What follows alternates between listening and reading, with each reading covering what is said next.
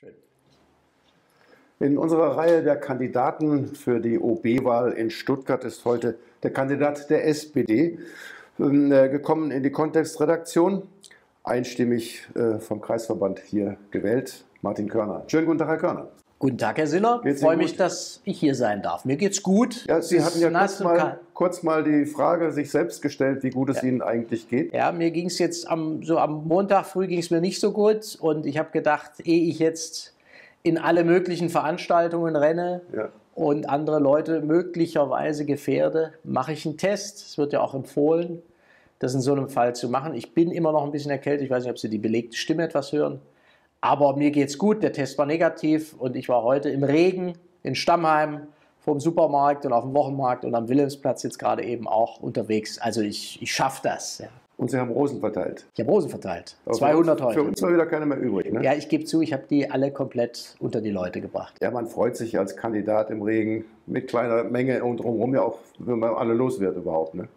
Ja, wobei das ehrlich gesagt ist nie ein Problem. Also ich habe jetzt, glaube ich, über 2000 Rosen verteilt und die kriege ich an den Mann und an die Frau. Es ist aber schon ein anderer Wahlkampf jetzt in Corona-Zeiten, wenn man nicht die großen Massen erreichen kann einfach. Es ist ein anderer Wahlkampf, äh, vor allem bei den Veranstaltungen, bei den Podiumsdiskussionen sind einfach viel, viel weniger Menschen im Publikum. Ähm, Gleichzeitig ist es so, dass online dann auch wiederum mehr auch aufgezeichnete Diskussionen sich anschauen. Also insofern bin ich mir manchmal gar nicht so sicher, ob das jetzt weniger Leute verfolgen okay. als in normalen Zeiten. Aber es ist generell ähm, schon auch in Teilen eine andere Stimmung natürlich, ja. Ja, also wir haben uns bei Kontext jetzt auch, Sie sind der Erste, der hinter der Scheibe sitzt. Okay. Äh, nicht, weil Sie jetzt einen Test gemacht haben, sondern weil im Zuge der doch hochschnellenden Zahlen ja. wir gedacht haben, halten wir hier nicht nur Abstand, sondern machen wir eine Scheibe dazwischen, Gut. dann sind wir auf der ganz sicheren Seite. Ähm, dann habe ich Ihren Einfluss unterschätzt. Sie haben dafür gesorgt, dass pünktlich zu Ihrem Gespräch, heute ist Freitag der 16., wo wir uns unterhalten, die neuen Zahlen rauskommen. Also wie stehen die OB-Kandidaten in den Umfragen jetzt ja. da? Da haben wir ähm, vorne Frau Kienzle, glaube ich, mit 25. Ja. Dann äh, sind Sie als Dritter schon, also Nopper mit 24 dazwischen ja. und Sie mit 23. Genau. Wie werten Sie das? Positiv überrascht, enttäuscht oder wie erwartet? Ich finde das unheimlich ermutigend und motivierend, muss ich Ihnen ganz ehrlich sagen. Ich finde das ähm, sehr positiv, bin auch positiv überrascht, sage ich Ihnen auch ganz ehrlich ähm, von der Zustimmung. Ich erfahre zwar viel Zustimmung im Gespräch, aber da muss man ja immer vorsichtig sein. Die Leute, die mit mir sprechen, sind einem auch erstmal positiv gesonnen. Aber mich freut das unheimlich. Ich, ich freue mich auf diesen Dreikampf da an der Spitze. Und ähm, das gibt nochmal richtig Schub für die nächsten drei Wochen. Besonders gefreut hat mich so eine Frage, da wird ja auch gefragt, mit wem haben Sie Probleme und so. Und ich habe so den Eindruck, dass gar nicht so wenig Befragte sagen, okay, der Körner könnte ein OB sein, der die ganze Stadt im Blick hat. Und ich glaube, dass das nicht ganz unwichtig ist für einen. Oberbürgermeister in Stuttgart. Gut. Zu Ihrem Wahlkampf gehört ja auch, dass Sie möglichst an alle Haushalte rankommen. Auch ich ja. habe letzte Woche Post von Ihnen bekommen. Ja. Nicht ein anonymer Flyer in meinem Briefkasten, sondern ein Brief ja mit meiner Adresse drauf. So ist es. Wo haben Sie eigentlich meine Adresse her? Von der Landeshauptstadt Stuttgart. Das ist möglich. Alle Kandidatinnen und Kandidaten können, ich glaube, ab einem halben Jahr vor der Wahl ähm, von der Landeshauptstadt diese Adressen bekommen, selektiert nach Alter. Wir haben das äh, selektiert nach Erstwählern und nach älteren Bürgerinnen und Bürgern dieser Stadt. Und die kann man persönlich anschreiben. Klar ist auch, dass wir diese Daten einmal verwenden können und dann sind die auch wieder erledigt. Aber das ist möglich. Wer das nicht möchte, und das gibt es auch, kann sich, das ist vielleicht wichtig, äh, bei der Stadt melden und aus dem Melderegister streichen lassen, dann bekommt man auch nicht mehr solche Briefe, aber das ist möglich. Ja. Finden Sie das gut, dass man extra Widerspruch einlegen muss, wenn seine Daten nicht weitergegeben werden können? Sollte es nicht eigentlich andersrum sein? Bei der Stadt sind meine Daten ja eigentlich sicher, dachte ich, und ja. vor Ausgabe geschützt. Ja. Und dann sollten die doch gefälligst mich fragen, ob ich das erlaube. Ja gut, aber es geht ja darum, für welchen Zweck werden denn diese Wer Daten verwendet? Das, ob der Zweck sinnvoll ist oder ja, nicht? Der Gesetzgeber hat das ja entschieden. Und ich finde die Entscheidung richtig, zu sagen, wenn es um eine demokratische Wahl in unserer Stadt geht, dann muss es den Kandidatinnen und Kandidaten möglich sein, die Menschen auch persönlich zu erreichen Und ähm, ich finde, das ist auch für die Demokratie ganz wichtig, dass die Bewerberinnen und Bewerber das machen können. Weil ich sage Ihnen auch ganz ehrlich, ich nehme zunehmend wahr, dass man das gar nicht mehr möchte, dass so, eine demokratischer, so, dass so ein demokratischer Entscheidungsprozess stattfindet, wo man natürlich auch Menschen ansprechen muss. Und ich finde das aber wichtig und ich finde, das gehört zur Demokratie auch dazu. Sie haben recht, da muss man abwägen. Ja? Und ich finde die Abwägung, die der Gesetzgeber in dem Fall getroffen hat, richtig. Mhm. Sind Sie sicher, dass äh, sonst keine Daten rausgegeben werden, wenn irgendjemand mal anfragt, äh, auch eigentlich für privatwirtschaftliche Zwecke? Ähm, also auf jeden Fall mal können private Unternehmen solche Daten nicht bekommen. Und okay. ähm, das finde ich genauso wichtig. Aber nochmal, es geht um eine demokratische Wahl und es geht um Informationen über die Kandidatinnen und Kandidaten. Und ich bekomme unheimlich viele positive Rückmeldungen, gerade auch auf diesen persönlichen Brief, ob das in Giebel war gestern Morgen auf dem Wochenmarkt oder heute auch in Stammheim, wo mich ältere Menschen ansprechen und sagen, Sie haben einen Brief von mir bekommen, Sie haben sich sehr gefreut. Sie kriegen aber nur die Adresse und das Alter. Das Alter kriege ich gar nicht, sondern die Landes der Landeshauptstadt sage ich, ab diesem Alter hätte ich gerne die Adressen, dann bekomme ich die Adressen und den Namen und das war's und bekommen ja auch so, nur einmal. Also daraus geht nicht hervor, ob es ein Neuwähler ist, ein Jungwähler oder ein älteres Semester. Doch, ich weiß, ich weiß, ab welchem Alter sozusagen diese Adressen gelten, aber ich kenne nicht das Alter der einzelnen Personen. Okay, also Sie haben keine unterschiedlichen Briefe an Jungwähler geschrieben mit 17 Jahren und an Wähler mit 87. Ich glaube, wir haben die Erstwähler sogar noch mal anders angesprochen als über die Stadt, aber bitte fragen Sie mich jetzt nicht genau wie. Ja. Gut, dann lasse ich das. Ja. Alles klar. Apropos ansprechen, es gibt ja nun auch eine, hatte ich immer so den Eindruck in letzter Zeit, nachlassende Diskussionskultur in Deutschland. Es wird also mehr geschimpft und geflucht mhm. und äh, es gibt ja nun auch ein paar Verweigerer auf allen möglichen Ebenen, die ihre Verschwörungstheorien haben und nur noch an das glauben, was in ihrer Bibel steht. Ja. Erleben Sie sowas im Wahlkampf auch? Leute, die eigentlich die Schotten dicht machen und sagen, der kann erzählen, was er will, ich habe die Wahrheit gefressen? Ab und zu erlebe ich das auch. Aber Wie geht man mit denen um? Spricht man mit allen? Ja, ich spreche erstmal schon alle an, natürlich. Aber wenn jemand partout nicht mit mir reden will, um Gottes Willen, also dann, dann, dann, dann, dann lasse ich es auch. Ja? Aber ähm, die, die aller, allermeisten Menschen reagieren positiv. Und ähm, ich meine, ich mache das ja immer so, dass ich erstmal die Leute bitte zur Wahl zu gehen. Und dann sage ich ihnen, und hier ist die Information über meine Kandidatur. Äh, das heißt, ich überfall die ja auch nicht, sondern, sondern äh, spreche die, wie ich finde, angemessen an. Und dann mache ich eigentlich in aller Regel sehr positive Erfahrungen. Ja. Okay. Kommen wir mal auf Ihre Ziele und auf das, was Sie erreichen wollen. Ähm, wenn Sie OB werden würden, worüber würden Sie sich am meisten freuen nach zwei Jahren, dass die Leute sagen, boah, das hat der Körner geschafft? Ich würde mich am meisten darüber freuen, wenn die Leute sagen, boah, der geht das Thema bezahlbare Wohnungen wirklich ernsthaft an. Ich bin der Meinung, dass das eine der wichtigsten sozialen Fragen in unserer Stadt ist. Wir sind mittlerweile die teuerste Großstadt in ganz Deutschland, haben letztes Jahr München überholt bei den Bestandsmieten. Sonst wollen wir die Bayern immer überholen, aber da nicht, ne? Da nicht. Da würde ich gern die rote Laterne abgeben und wenn wir das in, nach, in zwei, drei Jahren sogar schon schaffen, äh, umso besser. Aber das wird eine Daueraufgabe ja. sein oder eine Aufgabe, die man nicht mal geschwind lösen kann. Aber das ist mir mit das Allerwichtigste. Dazu gehört ja vermutlich auch, dass äh, vielleicht ein paar mehr Wohnungen im kommunalen Besitz oder der kommunalen ja. Baugesellschaften sein sollten. Und äh, da sind Sie ja, glaube ich, auch Aufsichtsrat bei der so ist es. SWSG. Warum haben die so wenig Wohnungen? Gut, also Sie haben mittlerweile 19.000 Wohnungen in Stuttgart. Verglichen mit anderen Städten ist das relativ wenig, da haben Sie recht. Ähm, jetzt auf der historischen Zeitschiene bauen die schon Wohnungen auf, machen sie. Auch, es ist auch geplant, das weiter auszubauen. Mir geht das ein bisschen zu langsam. Ähm, ich gebe Ihnen recht. Es gibt andere Städte, wie zum Beispiel Hamburg, äh, wo die Wohnung im Schnitt fast 20 Prozent billiger als in Stuttgart ist. Und das hat schon auch damit zu tun, dass es mehr kommunale Wohnungen gibt, aber im Übrigen auch mehr genossenschaftliche Wohnungen. Ja. Das spielt da mindestens die gleiche Rolle.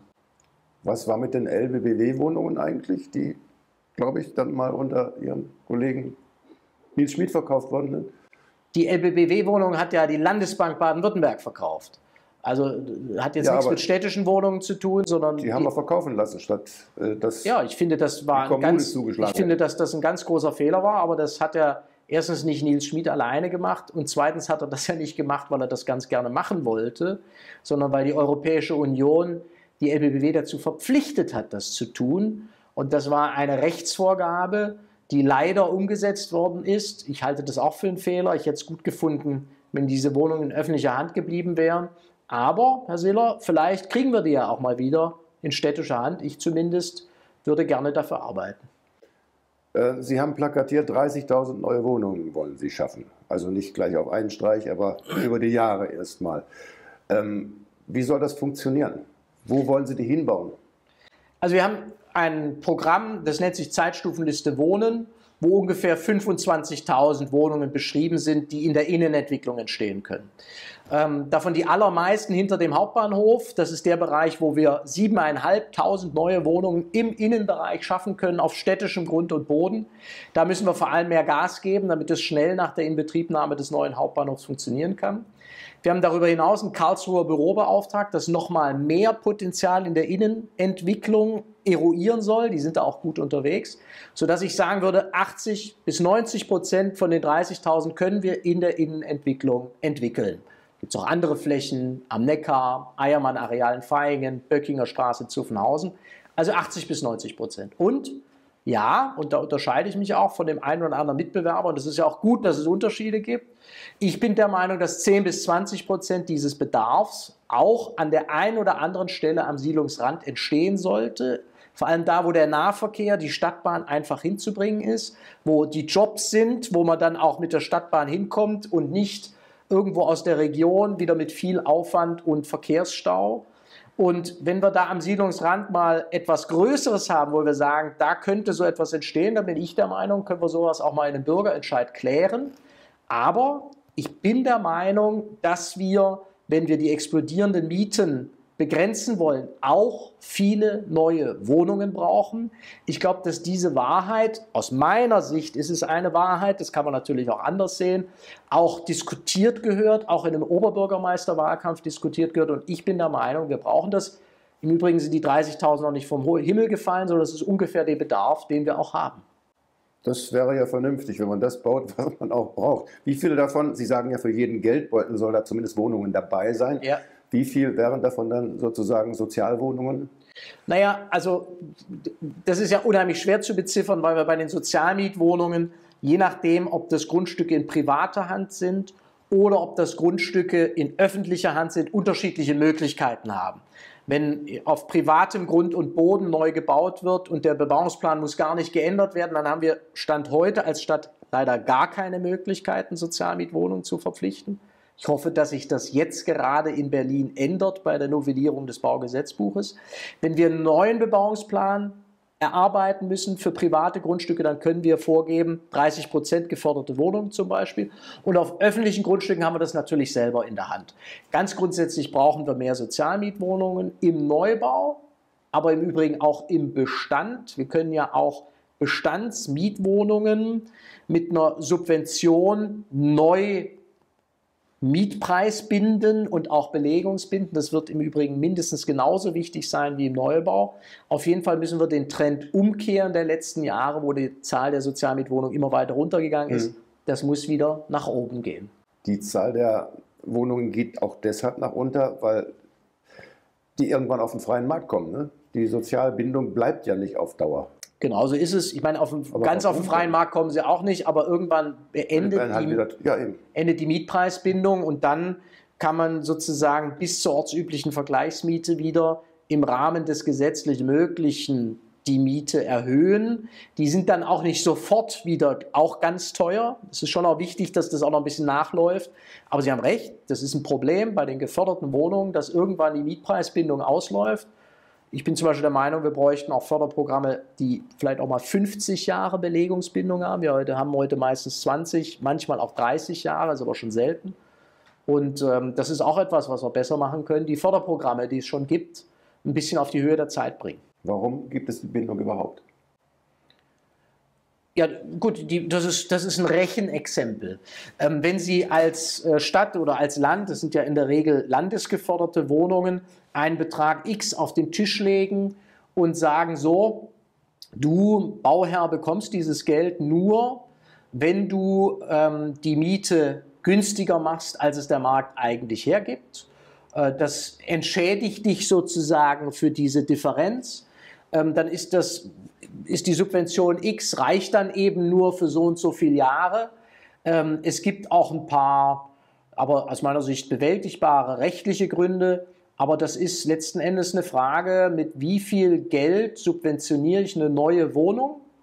damit sie eben 10, 20, 30 oder 50 Jahre dann auch preisgebunden sein kann. Aber wenn die im kommunalen Besitz ist, dann muss man ja keinen Investor entschädigen für ein Nachlassen der Miete. Nö, deswegen sind ja kommunale Wohnungen fast noch wichtiger als ähm, Sozialmietwohnungen. Allerdings hat auch die kommunale Gesellschaft Sozialmietwohnungen die nochmal in der Förderung generell ein Drittel unter der ortsüblichen Vergleichsmiete liegen. Aber auch die anderen städtischen Wohnungen sind günstiger als auf dem Markt. Äh, die SWSG, die städtische Wohnungsbaugesellschaft, ist da schon ziemlich gut unterwegs. Na, ich kann mich jetzt an das Eiernest erinnern. Ja. Die Wohnungen werden ja nun auch quasi verkauft, erstmal an Leute, die wenig Geld haben genau. und Kinder in Stuttgart haben. Alles schön und gut, aber nach zehn Jahren können das Ding verscherben. Auf dem freien Markt, für ja. Doppelte wie für, für einen Einstand. Ja. Dann sind die Wohnungen raus. Dann, die kriegt dann nie wieder eine alleinstehende Mutter mit wenig Geld. Haben Sie vollkommen recht. Das ist eine Entscheidung, die, glaube ich, jetzt mal geschätzt 15 Jahre alt ist oder so. Äh, das war das, worauf man sich damals geeinigt hat. Ähm, von denen, die da wohnen, höre ich da sehr viel Positives auch. Aber Sie haben recht, es besteht der Nachteil. Würde, ich, ich finde das auch toll. Wenn ich da wohne, die Wohnung gekriegt hätte, finde ich es auch super. Ja. Aber warum die nicht äh, den etwas äh, weniger betuchten Leuten erhalten bleiben, das begreife ich nicht so richtig.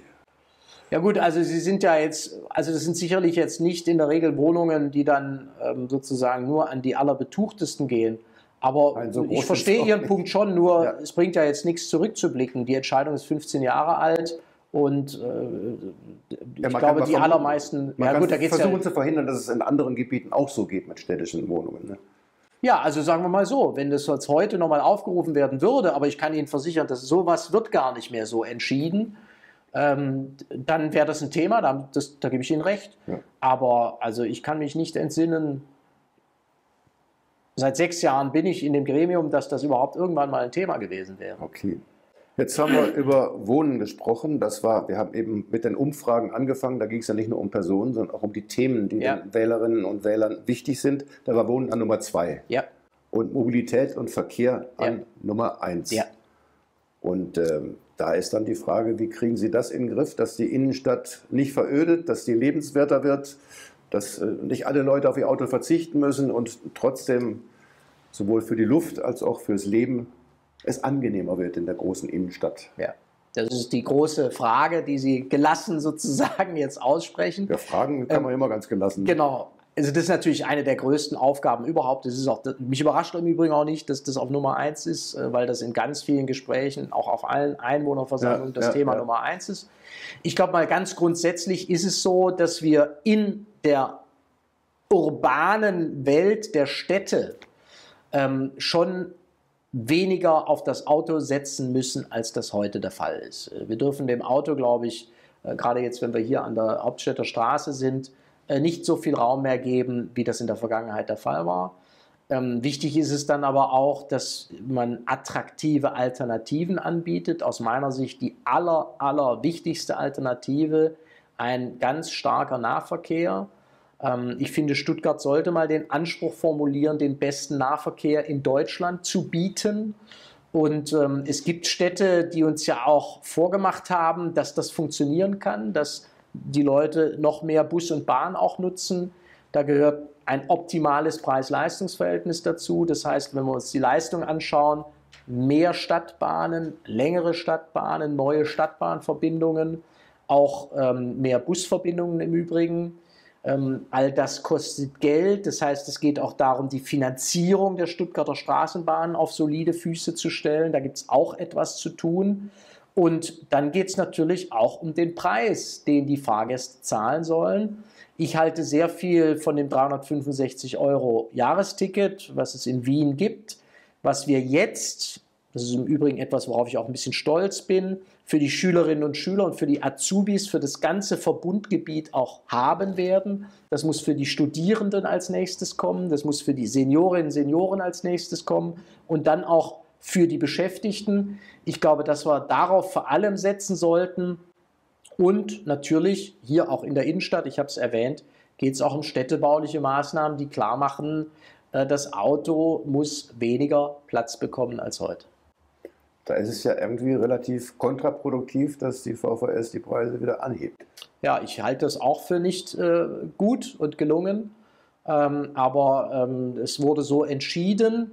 Ähm, die Finanzierung des Nahverkehrs ist ein kompliziertes Thema. Ich finde, dass die Fahrgäste momentan nach wie vor zu viel zur Finanzierung des Gesamtsystems leisten müssen. Ähm, es ist deutlich mehr als 50 Prozent der gesamten Kosten, die da anfallen. Ich fände 50-50 fairer. Wir haben allerdings, das muss man der Fairness halber auch sagen, zum 1. April 2019 eine Tarifreform gemacht, die bundesweit für ganz viel Aufsehen gesorgt hat, wo wir aus Stuttgart eine Zone gemacht haben. Und auch wenn Sie von Stuttgart raus, außerhalb nach Stuttgart reinfahren, sparen Sie sich eine Zone. Das war eine Preissenkung, je nachdem, wo Sie unterwegs sind, von 10, 20, manchmal 25 Prozent. Und auf dem Weg müssen wir weitermachen. Ähm, Sie sagen, das ist nun mal so entschieden worden. Da gehören immer Menschen, Parteien und Machtpolitik dazu. Wer ja. hat es entschieden und wer war dagegen? Naja, das wissen Sie wahrscheinlich, wie das läuft. Entscheidend ist eigentlich eine Abstimmung im Aufsichtsrat der SSB. Und äh, wenn da eine Mehrheit dafür ist, dann ist es eigentlich fast schon äh, gegessen. Und ich werde Ihnen jetzt aber nicht aus vertraulicher Sitzung erzählen, wer da wie abgestimmt hat. Ich kann Ihnen nur sagen, ich habe dem nicht zugestimmt. Ja? Aber ich will mir auch keinen schlanken Fuß machen. ähm, da gibt es Arbeitnehmer und da gibt es Arbeitgeberseite und eine Mehrheit hat das so entschieden. Dann ist jetzt, was den Verkehr angeht, auch gerade die Radspur auf der B27 sehr im Gespräch. Wie, wie nennt man das jetzt? Äh, Pop-up Bike Lane. Ja. Die wird wieder abgeschafft. Die wird wieder abgeschafft, weil das Amt für öffentliche Ordnung uns auseinandergesetzt hat, dass es rechtlich nicht anders geht. Die sind nicht gefährdet ich, genug, die Radfahrer. Ne? Ich wenn, glaube, wenn so ungefähr. hätte, dann würden sie bleiben. So ungefähr war Was die Argumentation. Ja, aber ehrlich gesagt würde ich gerne noch was anderes dazu sagen. Ich bin selber ja wirklich passionierter Radfahrer. Ich bin in diesem Jahr weit über 2000 Kilometer in der Stadt Stuttgart mit dem Rad unterwegs. War heute früh in Stammheim, wieder zurück mit dem Fahrrad. Ähm, ich persönlich fand die Pop-Up-Bike-Lane als Radfahrer nicht optimal. Die Übergänge waren gefährlich. Ich finde es viel wichtiger, als über die Pop-Up-Bike-Lane weiter zu diskutieren, dass wir da einen gescheiten Radweg etablieren. Dafür müssen die Stellplätze an der Seite fallen, ja. Das sehe ich so. Ich halte es aber auch für vertretbar. In den benachbarten Tiefgaragen ist Platz genug. Aber da brauchen wir einen richtigen Radweg, der ist auch sicherer und ähm, viel besser als das, was wir jetzt da als Pop-up-Bike-Lane hatten. Mhm.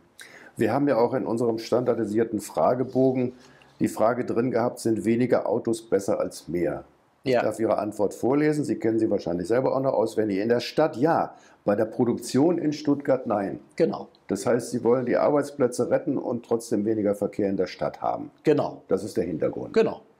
Sie haben es auf den Punkt gebracht. Ja, ja, aber insgesamt machen die Autos überall Dreck und Lärm und Abrieb, egal ob in der Stadt oder auswärts. Ja, selbstverständlich. Aber ich meine, die Menschen auf der Welt haben die freie Entscheidung, ob sie ein Auto kaufen möchten oder nicht. Ich möchte es ihnen auch nicht verbieten oder vorgeben. Mal abgesehen davon könnte ich es auch gar nicht. Und ich finde das schon wichtig, dass wir unser, ähm, unsere Autoindustrie nach wie vor hier in Stuttgart haben. Die muss sich verändern, die muss sich neu aufstellen, auf neue Antriebsarten einstellen. Aber äh, Tausende von Stuttgarter Familien leben davon, dass auch dort Autos produziert werden. Ich war gestern beim Bosch, ich war beim Daimler im Neckartal und da machen sich viele Sorgen um diese Arbeitsplätze. Und ähm, ungefähr jeder dritte Euro, den Sie und ich in der Tasche haben, kommt aus der Industrie in unserer Stadt. Und ich finde, dass man da nicht einfach so sagen kann, äh, was soll's, so what, ähm, weg mit der Autoproduktion. Nein. Das hinterfragt ähm, oder das hinterfragt das, das ja, ganz viel Sicherheit und auch Einkommen von ganz vielen Familien. Und ich glaube, dass es auch wichtig ist, dass der Oberbürgermeister dieser Stadt sagt, ja, es gehört auch ein bisschen zur Identität unserer Stadt, Industriestadt zu sein und wir wollen das auch in Zukunft sein. Und das habe ich versucht ja. mit dem Hinweis zu ja. geben. Aber dass sich die urbane Mobilität ändern muss, äh, ich glaube, das hat auch der Daimler begriffen. Und ähm, das, das äh, begreifen auch immer mehr Menschen und das ist nochmal ein anderes Thema. Die deutsche Automobilindustrie hat es etwa 10 bis 15 Jahre zu spät begriffen, aber inzwischen ist es, äh, glaube ich, durch. Es wird Tausende von Arbeitsplätzen weniger geben, nicht nur beim Daimler, sondern auch bei Mahle und bei Bosch und wie die Zulieferer alle heißen. Wo wollen Sie die unterbringen? Die werden nicht alle erst äh, ihren Job verlieren, wenn sie 65 oder 67 sind. Naja, erstmal möchte ich schon dafür arbeiten und mich dafür einsetzen, dass es eben nicht Tausende weniger werden. Also äh, ja, der E-Motor braucht nun mal weniger Arbeitskräfte als der ja, Verbrennermotor. Aber es geht zum Beispiel ganz entscheidend, Sie haben das ja angesprochen, ich glaube, Sie haben das da auch gemeint, zum Beispiel um die Zeitschiene. Über welche Zeitschiene reden wir denn, wo dann auch Arbeitsplätze jetzt sagen wir im Verbrennerbereich reduziert werden? Das macht einen gravierenden Unterschied, ob wir da über zwei, drei Jahre oder über fünf bis zehn Jahre reden. Und ich glaube, dass es wichtig ist bei dieser Transformation, die kommen wird, da gebe ich Ihnen recht, die Menschen ja auch irgendwie ein bisschen mitzunehmen. Ja. Und ich finde, da ist schon genug Tempo drin durch die auch weltweite Entwicklung und durch die Transformation, die da stattfindet. Und ich finde es ganz wichtig, dass wir uns da auch als Stadt überlegen. Da geht es ja auch um Flächenentwicklung, da geht es um Infrastruktur für, äh, für E-Autos, Stichwort ähm, Elektroladestellen dass wir da unseren Beitrag dafür leisten, dass dieser Übergang halbwegs äh, sozial laufen kann. Und dafür kann man schon was tun. Ja, Arbeitsplätze wird es äh, auf jeden Fall kosten. Aber die Frage ist immer, was kostet mehr Arbeitsplätze, die, den Verbrenner möglichst schnell abzuschaffen oder möglichst lange an einer äh, Fertigung festzuhalten, die eigentlich äh, steinzeitmäßig ist? Also zu lange an ja. altbewährtem festzuhalten, was nicht mehr zukunftsfähig ist, kostet noch mehr Arbeitsplätze, würde ich jetzt mal postulieren.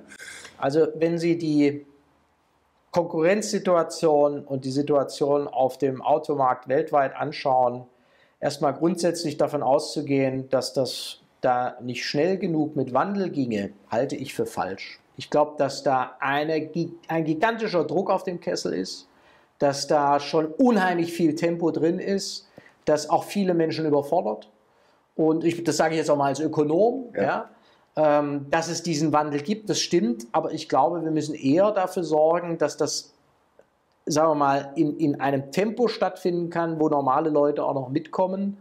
Ähm, das wäre mir eher wichtig. Ja? Also ich, ich finde nicht, dass wir da sozusagen noch mehr Gas geben müssen. Hm.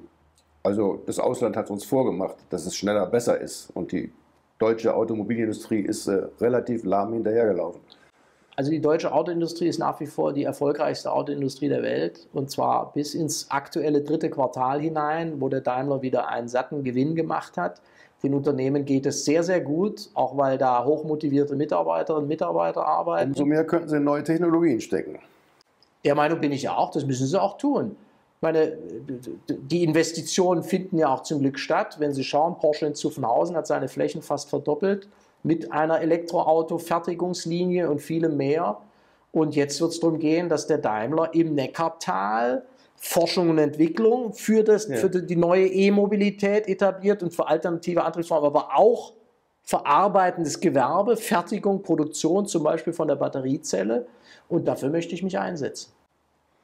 Noch ein äh, weiteres Thema, äh, wenn auch nur ganz kurz angeschnitten.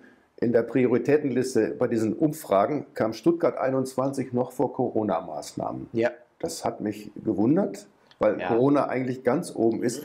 Zeigt aber auch, dass Stuttgart 21 äh, immer noch die Gemüter sehr bewegt. Hatten wir auch eine Frage zu, muss ich vorlesen.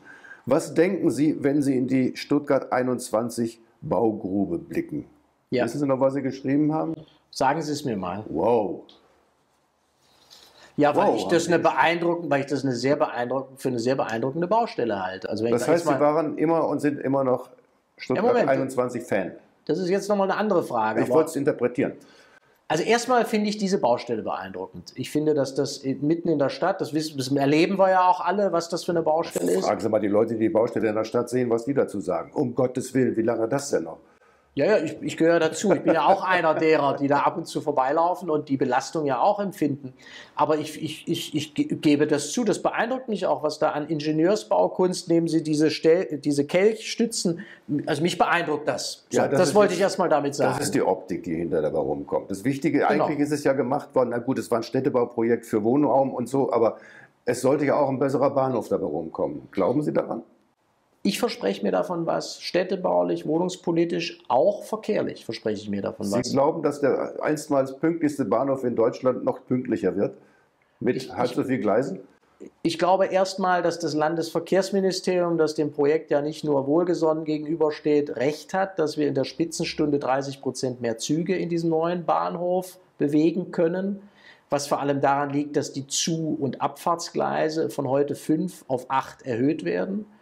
Ich verspreche mir was von dem Filtertunnel aus dem Süden Stuttgarts, weil die Verbindung von Tübingen und von Reutingen nach Stuttgart wesentlich schneller und attraktiver wird. Ganz wichtig, wenn wir hier auf der B27 auch weniger Autos haben wollen.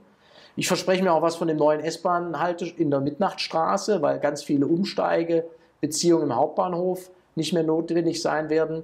Aber ich habe den allergrößten Respekt vor denen, die das Projekt wesentlich skeptischer sehen. Ich finde, man kann das auch mit guten Gründen, zum Beispiel aufgrund der Kosten, ganz kritisch sehen, auch ablehnen. Ich verspreche mir was davon, verkehrspolitisch, aber auch für den Städte- und den Wohnungsbau. Ja. Es erstaunt fast ein bisschen, zumindest erstaunt es die Befürworter, dass alle Leute, die jetzt nichts mehr damit zu tun haben, also ehemalige Bahnchefs und so, dann hinterher gesagt haben, also nicht mehr in Amt und Würden waren, ja, meine Idee war das, die hätte ich auch nie gemacht. Und die wussten, wovon sie reden. Ne? Ja gut, aber die Deutsche Bahn, da muss man ja ein bisschen genauer hingucken. Es wird ja oft das Thema Wirtschaftlichkeit angesprochen. Ähm, die Bahn ist ja. ja. mal gestartet damit, dass das ein eigenwirtschaftliches, betriebswirtschaftlich rentables Projekt ja, wird. Das ist ja nur schon lange vorbei. Ne? Ja, genau. das schmerzt sicherlich auch manche dort. Mich schmerzt das nicht, weil ich das weiß. Das fehlt aber woanders, wo es nötiger gewesen nein, ich, wäre. Ich sage Ihnen, warum, ich sage Ihnen, warum mich das nicht schmerzt, weil ich weiß, dass jede Infrastruktur in Schiene und Bahnen, das gilt übrigens nicht nur für, für Züge der Deutschen Bahn, sondern auch für Stadtbahnen, Geld kostet. Und dass das nicht betriebswirtschaftlich sich rechnet, sondern wenn überhaupt, dann rechnet sich das volkswirtschaftlich. Ich habe Ihnen beschrieben, warum ich mir was davon verspreche. Bitte. Wir werden eine Neubaustrecke Richtung Augsburg und Ulm und München dann bekommen, die uns dort ganz also richtig viel bringt und die muss in den neuen Bahnknoten eingebunden werden. Das heißt, wir hätten so und so auch bei K21 sehr, sehr viel Geld in die Hand nehmen müssen. Und es wurde jetzt so entschieden, wir haben es ausgiebig diskutiert, die Grundsatzdebatte ist durch, jetzt müssen wir auch was draus machen.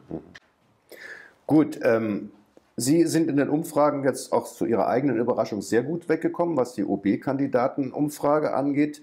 Es gibt aber auch eine Umfrage, was das Land angeht. Da prepelt die SPD jetzt, glaube ich, bei 11 Prozent rum. Also es geht nicht mehr darum, vorne mitzuhalten und neue Höchststände, sondern noch gerade mal zweistellig zu bleiben. Das ist für die älteste deutsche Volkspartei natürlich eine Katastrophe. Müssen wir jetzt auch nicht äh, im Detail diskutieren.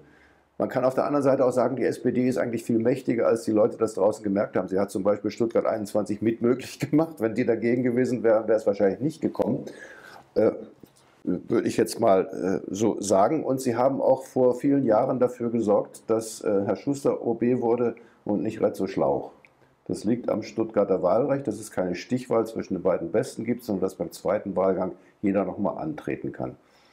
Haben Sie sich schon überlegt, wie Sie sich verhalten, wenn Sie Dritter werden, wenn die Umfragen etwa das äh, Ergebnis widerspiegeln? Habe ich mir noch überhaupt nicht überlegt, weil ich jetzt erstmal mit, mit, mit einer ganz hohen Motivation, auch, auch aus der Umfrage heraus, aber auch aus vielen Rückmeldungen in diese drei Wochen gehe, die jetzt vor mir liegen. Ähm, ich bin sehr optimistisch. Ich freue mich auf diesen Dreikampf an der Spitze um den Platz 1. Darauf konzentriere ich mich jetzt. Alles andere interessiert mich nicht. Ich bin Sozialdemokrat, bin das auch aus Überzeugung und auch mit einem gewissen äh, Stolz auf das, was äh, die SPD auch für Deutschland insgesamt geleistet hat, auch in den letzten 20 Jahren. Aber bei der Oberbürgermeisterwahl geht es um eine Persönlichkeitswahl. Ja. Da geht es darum, was ist das auch für ein Mensch, der sich da zur Wahl stellt. Und da habe ich das halt anzubieten, was ich anzubieten habe, auch meine Berufserfahrung. Und ich glaube, die, die, die Leute gucken sich das auch an und die Bürgerinnen und Bürger entscheiden danach auch. Und, und darum geht es jetzt mal. Und über ja. den zweiten Wahlgang, Herr Siller, unterhalten wir uns dann am Montag, den 9. November, aber nicht vorher.